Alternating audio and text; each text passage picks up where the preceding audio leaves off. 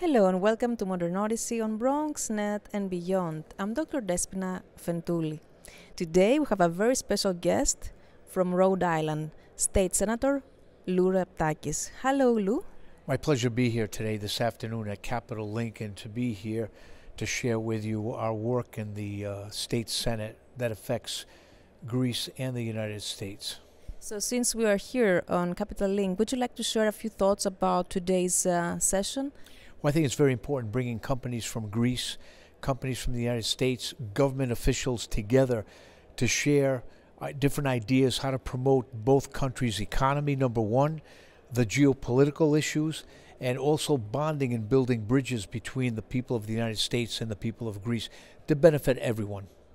And Lou, you have served on various positions and also you have chaired in the state the senate of Rhode Island. Would you like to share with us what you've done, your work, and what your achievements are so far? Sure, I've been elected for 28 years, and most important, serving on the Judiciary Committee, which is one of my key roles, uh, third ranking member. And, and, there's a lot of issues. There's a lot of issues combating drunk drivers, uh, keeping criminals in jail, which I think is very important. A lot of the gun laws that passed during uh, during our session in our committee and many other various issues that are important to law and order. And my other minor committee is Special Legislation Veterans Affairs, protecting all the veterans that have served our uh, great nation. So, key issue promoting a lot of legislation to protect those veterans when they are discharged from service, whether it's housing, education, anything that we can do to support our men and women that served our country proudly. And apart from that, I would have to say that you continue to support your Greek heritage by introducing every year the um, Remembrance Day of the Pontian Greeks and the um, Greek independence. So please tell us more about why you think it's important for people to know more about these two historical events and what your goals are. Number one, the Greek Independence Day. We've been passing and voting on that resolution both in the Senate and my colleagues in the House for the last 20, uh, 29 years, maybe even longer. Very important is to show, to tell our constituents, our non Greek constituents in the state of Rhode Island, how important Greece is, how democracy is. And a lot of uh, Rhode Islanders are very proud to know the history of Greece, how Greece fought its revolution against the Ottoman Empire, similar to what the United States did. And we had a lot of Philhellenes that left the United States to go fight in the Greek Revolution. And those are issues that are important to us 200 somewhat years, 203 years later. So it bonds both uh, people together, and which is very important. It shows the uh, camaraderie that we have between both countries. Uh, the history, which is the revolution of the United States, probably inspired the Greeks to revolt. And I think the, the hosts in the United States that decided to revolt against uh, the king saw the value of democracy.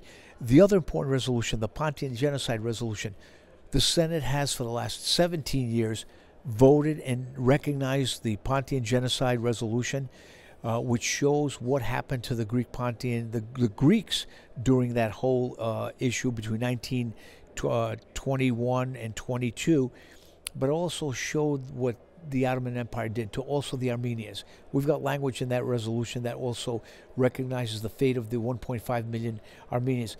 The message is no more genocide. We have to recognize what took place over 100 years ago to show the world that genocide is unacceptable today and the suffering of what uh, the Greek people and the Armenian people suffered under the uh, genocide of the uh, Ottoman Empire. And we're waiting, hopefully, that Turkey, modern day Turkey, recognizes what took place 100 years ago. It was the genocide of the Christian, also. Exactly. The Assyrian. Exactly, exactly.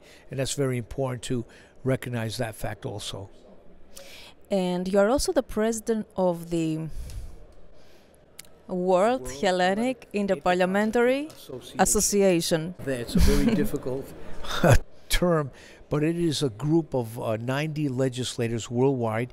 There's 43 here in the United States, five members of Congress, three lieutenant governors, a secretary of state, 12 state senators, and about 19 state reps elected in 18 states throughout our great nation bonding these individuals together, plus our colleagues from Australia, another 20 from Australia, uh, eight from Canada, and many, many nations throughout the world, bringing elected Hellenes together.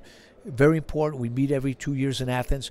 But here in the United States, great uh, group of individuals that we educate our colleagues in government, our non Greeks, how important Greece is regarding all issues geopolitical issues, education, bonding Greece and Cyprus together with the United States. We've done a lot, blocking the F 35s, taking Turkey out of that F 35 program, hopefully to block Turkey from the F 16 program, making sure that our U.S. senators, our members of Congress in the 18 states were elected, know the issues, the East, how important the East Med is, how important Greece is to the United States, to United States interests. So that's our, our most of our work. But again, at the same time, uh, building uh, bridges between both countries. We're working on education right now, preserving the Greek uh, language. Uh, American companies investing in Greece, Greek companies investing back in the United States, the geopolitical issues. So there's a lot of work that we do uh, on a on a weekly basis, monthly, weekly, daily. We're in contact with each other. Today's email makes it a lot easier. So uh, we want to make sure that we're updated on all the issues of concern between both nations and including Cyprus. And what are your priorities at this point as a president? Well, our priorities is to educate our colleagues. We, we have a board meeting coming up in uh, Greece in January. Our nine member board, we're going to be visiting Yanina, Igoumenitsa, the technical uh, technology park of the University of Yanina. I think it's very uh, very important to go to different regions of Greece. We've been to Alexandroupoli, we've been to Thessaloniki, and we're also going to uh, visit uh, Crete. We're going to visit all the NATO facilities, American facilities, to show how important Greece is right now, uh, especially this uh, important uh, arena of the Eastern Mediterranean, how dangerous the Eastern Mediterranean is today, but Greece being one of the leading partners of the United States. And uh, to mention that you also visit places that are not so popular in a way, let's say Castellorizo. Uh, well, Castellorizo was very important. We visited in 21 22. We had the Law of the Sea. We emphasize Greece's borders. Doesn't matter how far Castellorizo is from mainland Greece and from Rhodes. We emphasize that every inch of Greek territory is sovereign Greek territory and that Turkey should respect uh, the sovereign territory of Greece. And what is your message to our Hellenic U.S. international audience?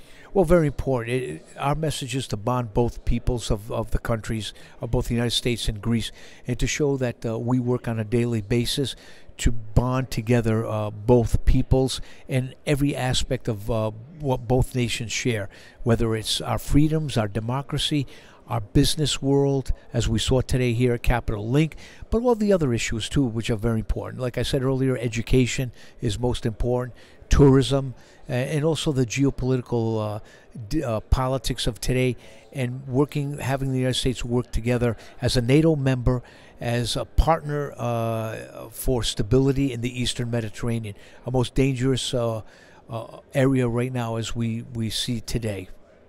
Thank you so much, Lou. Ευχαριστώ πάρα πολύ. Ευχαριστώ πολύ. Thank you very much. Thank you.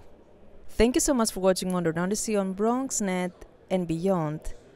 I'm Dr. Despina Afentouli. Until next time, yassas.